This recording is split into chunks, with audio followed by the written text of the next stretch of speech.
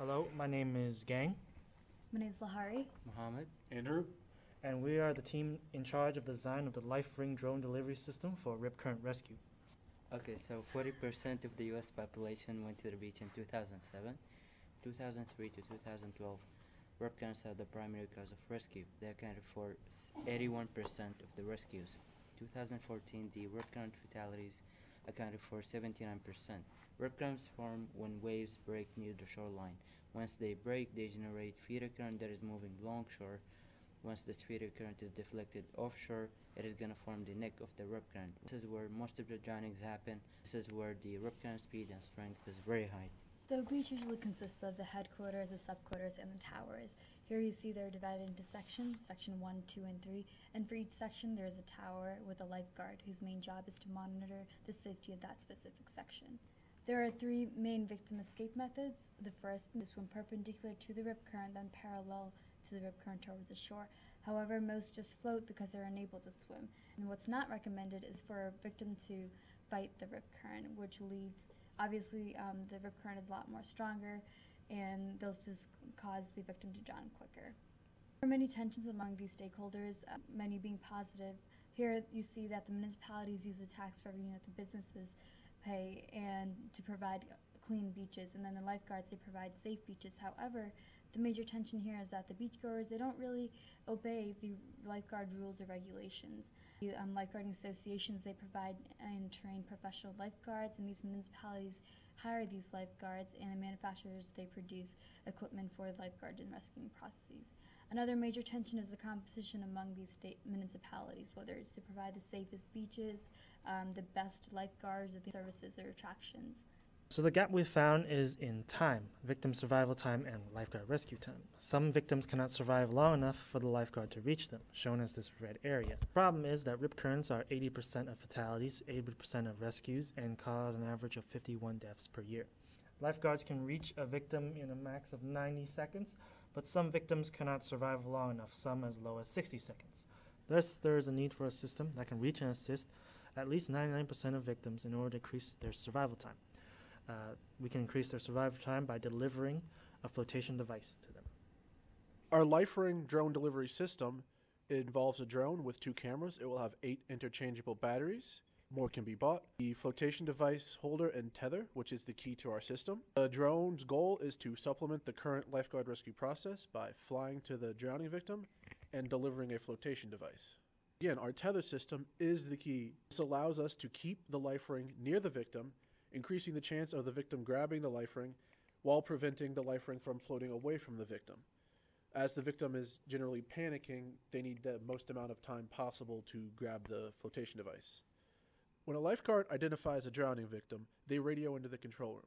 Our drone will intercept that radio transmission, and while the lifeguard leaves to swim to the drowning victim, our drone will also leave and travel to the victim, where it will deploy its tethered life ring, which it will keep within range of the victim until the victim grabs the life ring while the lifeguard is still swimming towards the drowning victim. In order to verify that this system meets our mission requirement of saving lives and to determine the best design choices for such a system, we have created a simulation in MATLAB and Simulink. So the main linear dynamics equation is uh, mass times acceleration equals the sum of forces. The forces considered from left to right is the force of gravity, the force of thrust from the motors, the force of drag on the drone, and the force of the life ring, which is decomposed into the, its own drag and its own weight. The main rotational dynamics equation is the Euler's equation for rigid body dynamics. We eventually derive angular acceleration, which we integrate twice to get the rotation values over time. So our main simulation model is shown here. First, for any victim, a chosen escape method and rip current properties are inputted to calculate the victim position over time. The victim's position acts as a waypoint to calculate the lifeguard position and drone position as they try to reach this victim. Using the lifeguard position and drone position, the analysis block will be used to determine if the drone or lifeguard reached the victim and whether the victim survived. So here's some sample output of our simulation in MATLAB. Blue is the victim being dragged by the rip current. Red is the lifeguard running along shore and then jumping into the rip current to catch the victim. And the green is the drone flying toward flying over the victim. Notice how the drone reaches the victim before the lifeguard can. There are three design decisions. Set A, the flotation device. Set B, the location of the drone and the flight path it takes. And set C, the battery. And for each set, we do either an AHP analysis or a DOE. So for set A, the flotation devices, um, after talking to many lifeguards and doing plenty of research, we've narrowed down to four flotation devices: the life ring, rescue can, life vest, and the Ultra 3000, which is an inflatable life jacket. Then we considered the factors of cost, weight, dimensions, and buoyancy for each of these devices. Our AHP results: the higher the utility, the better the alternative. The highest utility here is the ring buoy, therefore that's the best alternative. Yes, it is low in buoyancy, however, the buoyancy only matters when it hits the water surface. And then the effectiveness and usability are far more important, and both of those factors are the highest for the ring buoy. For further experiments, we considered a case study of whether a certain beach needs our drone. The beach we selected is Galveston Island Beach. So our first experiment is to determine the best path, location, and operation range. Uh, shown on the right is a picture of the paths and uh, locations that we have considered, and on the bottom left is the distributions we've used. So our results are shown here. The y-axis is the percent of victims reached in under 60 seconds. The x-axis is all the location, path, range combinations we've considered, and we want a threshold of 80% of victims reached in under 60 seconds, shown as the black bar. As you can see, the leftmost combinations are our only decision. Uh, so as I reiterate again, the, our system can work with any path and can cover three sections or less at the tower. The objective for our third design decision is to determine the best battery for the drone, considering the attributes of cost, capacity, and power output. Our drone performs three maneuvers, and the power will be recorded at steady state. So as you can see in each of these three graphs, the green area indicates potentially feasible batteries. Two example feasible batteries are listed in the table below. However, the two life ring octocopter does not have any feasible batteries. It just has too much weight. Final experiment is to compare our drone system with the baseline lifeguard rescue.